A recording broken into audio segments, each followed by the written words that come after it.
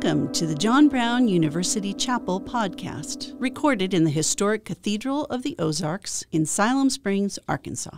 This chapel message is by Jim Caldwell, professor of construction management at JBU.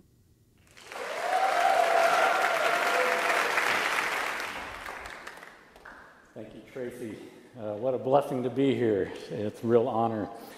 It was 100 years ago this coming Monday that classes started on our campus. So today it's fitting that we look at the window that depicts the year JBU was founded. To help our study this morning, I brought in several items from each section of the window. On this side, I have the objects representing the life of Christ. We have a carpenter's axe, a square, a wood saw, a piece of lumber, and a scroll representing the scriptures that Jesus studied and understood very well. On this side, we have the items that were selected to represent the first year of JBU's history. We have corn representing the farming that was done on our campus, a masonry trowel representing the mortar box, framing lumber, and the 1919 Articles of Incorporation of JBU, actually called Southwestern Collegiate Institute. Between July 23, 1919, when John Brown, the founder, proclaimed, I'll build that school, and September 29th, a 9,000 square foot building was constructed to start classes. In these two short months, funds were raised, plans were drawn up, with actual construction only taking 35 days. As the Christ Over All History book tells us, there was a lot of hammering going on for many weeks after classes started to finish the project. There weren't even windows installed in the frames on the first day of class. The first campus buildings housed classrooms, offices, the chapel, the dining room, the kitchen, the men's and women's dormitory, and I laugh, and we thought the Walker Center was a new idea when we built that. In the original Articles of Incorporation, signed on August 6, 1919, the purpose of JBU was stated to establish and maintain an industrial college wherein courses of instruction in the arts and sciences, including courses in industrial arts, home economics, agriculture, and the mechanical arts, will be given. I also have a copy of the subsequent warranty deed to our nearly 300 acre campus that was filed less than eight months later. It reads as follows Known all men by these presents that Johnny Brown and Juanita Brown, his wife, for and in consideration of the sum of one dollar, and agreements hereinafter set forth to be paid by Johnny Brown College, subject to the conditions hereinafter set forth, the following described lands. The first thing of interest here is the amount of the sale. What a blessing that John Brown, the founder, gave his personal land to start our university. He was a great visionary that put it all on the line. The second thing to point out is that the grantor expressed his preferences while making this transaction. One of those desires, expressed in the deed, is as follows it's the earnest purpose of the founder that John E. Brown College forever stand as a champion of the original laws of God and of the outstanding doctrines as found in the Word of God, to use the Holy Bible as a textbook, and such acceptance pledges its teaching staff to teach this book as a book in which men spake from God as they were moved by the Holy Ghost. It's encouraging to me that our JBU seven point doctrinal statement, implemented many years after this deed was filed, is very consistent with this request in our campus deed. It's listed as number one in our doctrinal statement. We believe the Bible to be the inspired, the only infallible, authoritative Word of God. This requirement in our deed is a good motivation for all of us faculty to teach each of our subjects in light of the Word of God. Students, you can help us keep accountable to carry out this request from the founder. With this deed request in mind, let's look at the upper half of stained glass window number three. I think it's no coincidence that the symbols of the life of Christ are placed on top of the JBU history images, in keeping with the motto we've had for 100 years Christ over all. We're going to look at the life of Christ from age 12 in the temple, window 2, to his baptism and beginning of his ministry years, window 4. Our main reference will be Luke chapter 2, verse 51 and 52, the last two verses in the temple story. These verses set the stage for what some describe as the silent years of Jesus. Let us review what Dr. and Mrs. Beers spoke about last Tuesday regarding window number two and this story of young Jesus in the temple. His parents left him behind for several days in Jerusalem when they journeyed back to Nazareth. When I compare these events to modern times, I see a difference. We normally forget the youngest child. When I was picking up our four kids from church one time, I forgot our youngest and left her in the nursery. I got home and received a phone call Do you mind coming back to church and picking up Deborah? Also, when my wife was about four years old, the youngest of five kids, her parents left her in a hotel room on family vacation. A few miles down the road, one of the older kids piped up, Where's Barb? They quickly did a 180, retrieved her, and all was well. She's not been damaged, and I appreciate her being here today. Anyway, I think that if Jesus had been in Jerusalem many times before, and earlier in the chapter we read that he was filled with wisdom and God's grace, Mary and Joseph had a lot of trust in him and knew he was responsible. It's great to ponder how God the Father was working in the life of his son Jesus, expressing his deity even at a very young age. Both Joseph and Mary had encounters with angels prior to Jesus' birth. They were clearly told that their baby would be special. Joseph in Matthew 1, Emmanuel, God with us. And Mary in Luke 1, Son of God. Here, 12 years later, he tells his parents, I had to be in my father's house. I think it was God's plan that Mary and Joseph not fully understand the profound meaning of Jesus' statement that he was the Son of God at this point in his life. The Lord had ordained that Jesus spend the next 18 years in work and family, community relationships that would prepare him for his eventual public ministry. And I'm wondering if Joseph and Mary had fully understood his deity then. Would they have turned him into a priest or a scholar instead of his natural role as a carpenter's helper? Maybe more likely it was that a practical need for his help in the daily farming duties and the business when Jesus is finally reunited with his parents, we read the following Then he went down to Nazareth with them and was obedient to them, but his mother treasured all these things in her heart. And Jesus grew in wisdom and stature and in favor with God and man. We see the main lessons from the lost temple story. First, Jesus obeys and leaves with his parents. He doesn't want to stay any longer in the temple, even though I'm sure he had quite the audience. He was obedient to them and went home. Even though Mary and Joseph were godly parents who followed Jewish law and practice, they were not perfect, like any of your parents. Still, Jesus obeys them. We then have this short statement about Mary treasuring this event in her heart. I think her motherly instincts knew that the angel's promise prior to Jesus' birth was continuing to unfold. Next, we see that Jesus continues to grow in wisdom and stature. Somehow, the perfect Son of God grows in his relationship to his Father over 30 years. When he's baptized by John, we read that the Father says, You are my Son whom I love. With you I am well pleased. Jesus gained wisdom by faithfully doing his Father's work over these many, quote, silent years. Not only does he continue this favor with God his Father, but also with man. I believe the favor with man was largely helped by his work as a carpenter and his obedience to follow alongside his father, learning the trade. Being obedient to his earthly father would have yielded great reward in his standing in the community. God ordained that Jesus grow up and spend 90% of his life in an obscure place called Nazareth. By most accounts, there were probably no more than two or three hundred people in this farming community. This would have necessitated that even skilled tradesmen like Joseph and Jesus would have done basic farming duties along with their skilled work in construction. Nazareth didn't have a very good reputation at the time. It was a no name place. This would, would have created stigma associated with Jesus as he moved about the region in his teens and his 20s. What seems even worse is that his own family in this small community didn't believe Jesus as he started his public ministry.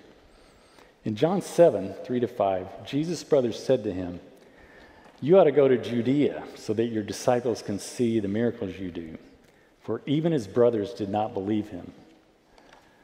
Was it because they knew Jesus was really a half brother, that Joseph was not his real dad? Jesus obviously handled living with his family without sin, but I wonder if there was tension there growing up, brought on by his half brothers, that gave him life experience to draw on in his future public teaching. Jesus relates this idea of family stress in Luke 21. You will be betrayed even by parents, brothers and sisters, relatives and friends, and they will put some of you to death. Everyone will hate you because of me. Jesus' personal life experience gave him credibility to teach his disciples this truth. That is good news to many of you who may have strained relationships with your half siblings. Jesus walked that same road that you are on. Some scholars think that as Jesus got older, he worked his trade in a much larger town nearby called Sepphoris. It had wealthier clients uh, that could hire tradesmen, and with Sepphoris only about three and a half miles from Nazareth, workers could make this commute in less than an hour and still return to their families and rural life in Nazareth. Jesus could have easily witnessed the troubles of riches for many years working in Sepphoris, which we later see revealed in his teaching. It would have also been a place where he could have engaged the government, pay taxes, and do other business affairs. Let's summarize what shaped Jesus' life prior to public ministry. First, obviously, his deity, his oneness with the Father in heaven, carrying on his Father's work. Second, his work, his family, his life experience. Jesus was fully human, and key to his growing in favor with man was his many years of living life in the region of Galilee. Let's look now at the many accounts of Jesus in public ministry after age 30. By looking at his method of teaching, we can have a window into what his life was like prior to going public. Teaching in parables or storytelling was Jesus' preferred method of public ministry. We also know that the most compelling stories are ones that come from personal experience. When you look at the 46 parables that Jesus taught, they can be grouped into four broad categories. Number one is business, money, managing people in debt. Two is farming, animals, plants, and fishing. Number three is family relationships, weddings, friends, cooking, feasts, closings, etiquette, inheritance. And number four, institutions and privilege, legal systems, judges, taxes, temple prayer, hierarchy of kings, masters, servants, the poor in society. Jesus' teaching in these parables covers each of these four categories equally, about 25% in each which I believe points to the well rounded life he lived from ages 12 to 30. He learned this great breadth of life from many his parents, his friends, and his personal experience as an adult. I believe that he gained a lot of these experiences through his work, his job as a carpenter, or as many believe, a general builder. Most buildings back then were made of stone and masonry, so Jesus could have likely been involved in much more than just woodworking. Imagine the many clients he may have had in all sectors of society. The bookkeeping of this business would have led him to a wealth of experience in handling money and debt and people. Running this construction business would have required that he engage the institutions of the day tax collectors, legal systems. There could have been helpers or hired laborers, again, giving great firsthand experience in dealing with people.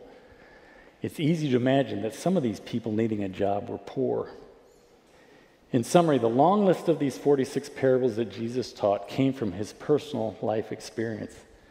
Certainly, he taught from his authority as God in human flesh, but having experienced the things in each of these parables would give him credibility with his audiences and a model for us to share our personal stories as we pass down our heritage of faith to each generation that follows.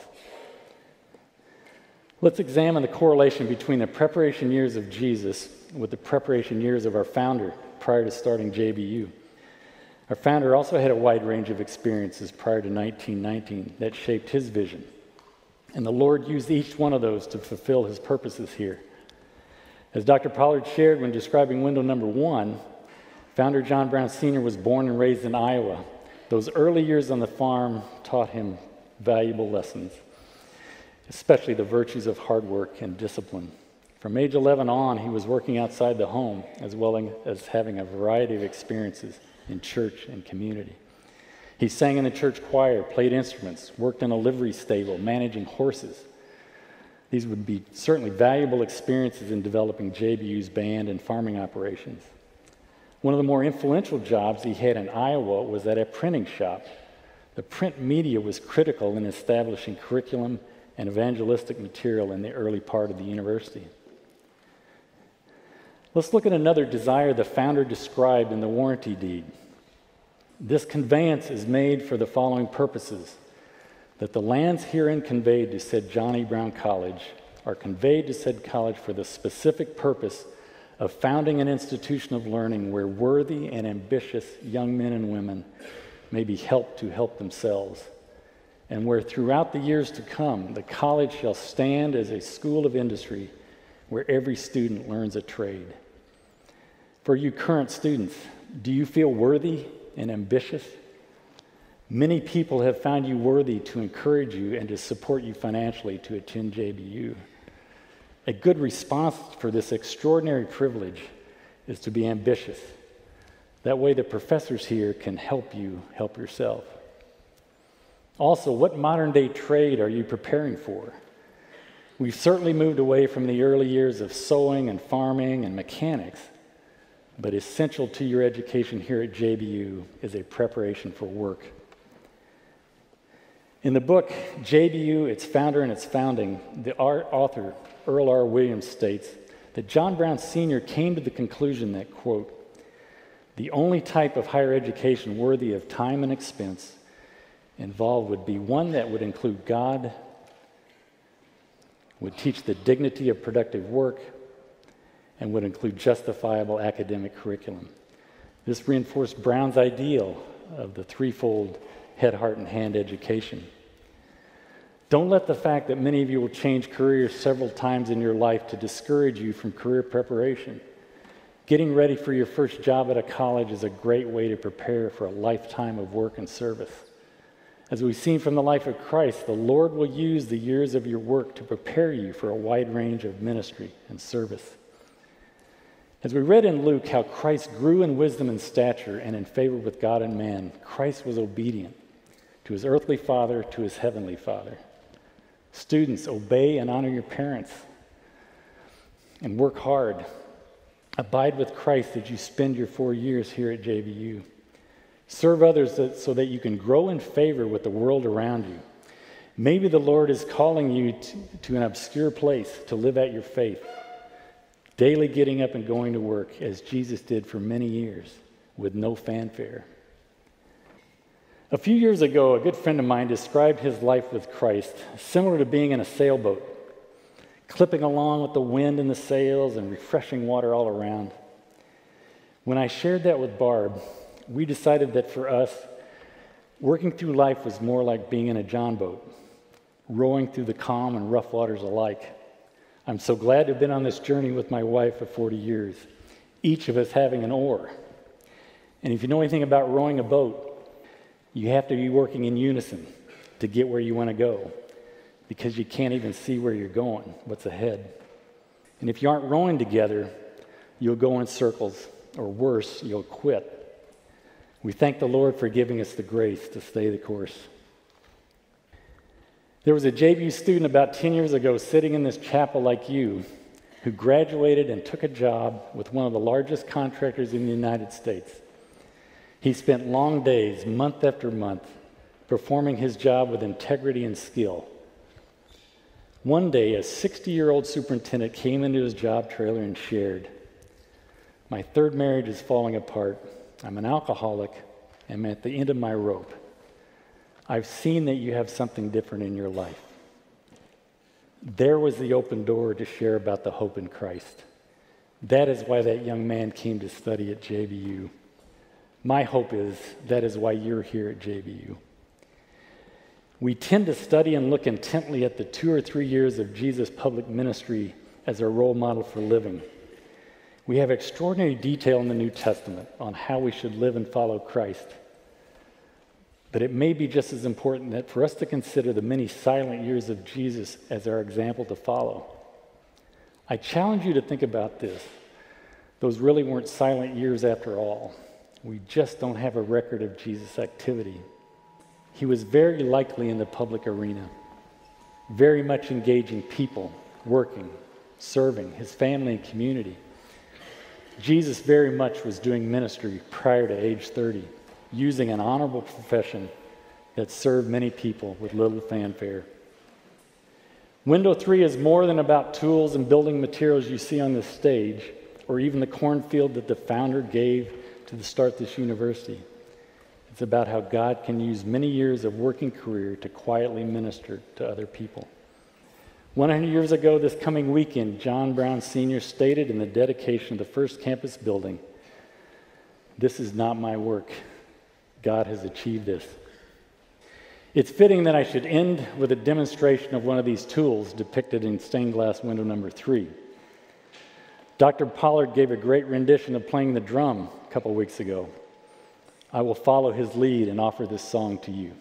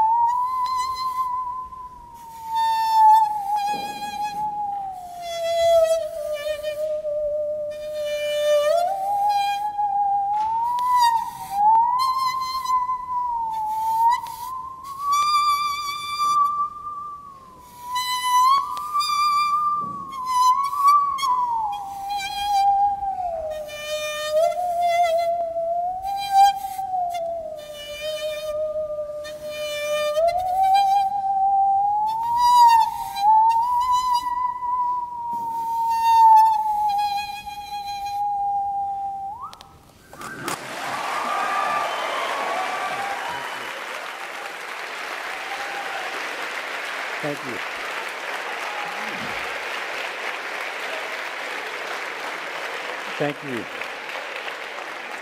Let me leave you with these three points. Number one, be obedient to imperfect people. Honor your parents, your RA, your professors, your pastors. Number two, use your trade for serving others.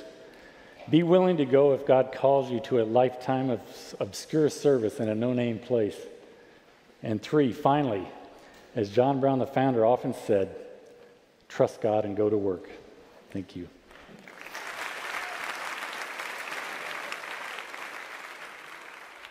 Thanks for listening to this episode of the John Brown University Chapel Podcast. Be sure to subscribe on iTunes or whatever platform you're listening on, and we'd love it if you would leave us a review.